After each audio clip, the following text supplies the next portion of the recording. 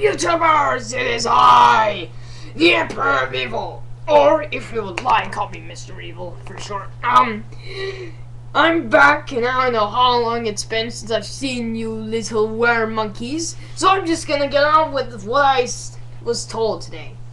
Today, um, Dr. Midget said to me, Beware the Ides of March, Mr.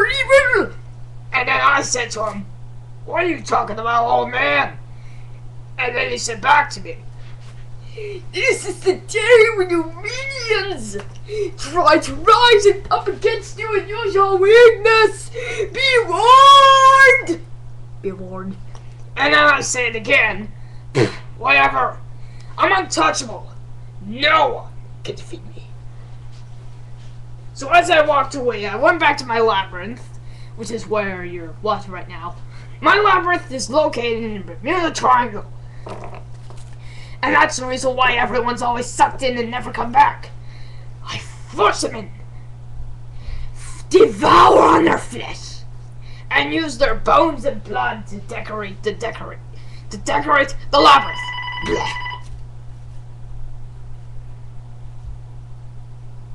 So, um, do you really think my minions would turn against me? I've done it for a while, and I've gained their trust enough. I would know. If, Hold on for a second, guys. Um, one of my minions. was- One of them escaped. That's impossible. Aha! Dr. Mickey, you need to flee. Go through.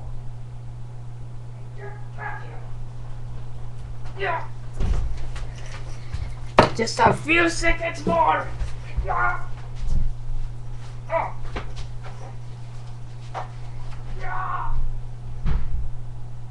Are you to escape, Dr. Mickey? Well, I to tell you. that's what I do. Back up! Oh, this is- oh.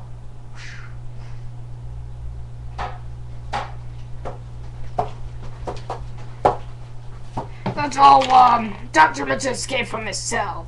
Yeah, he tried to stop me, so I put him in one of the cells.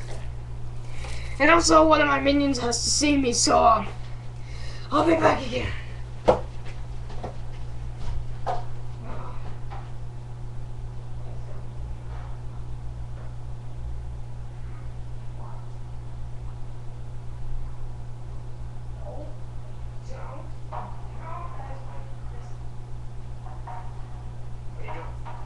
Stop!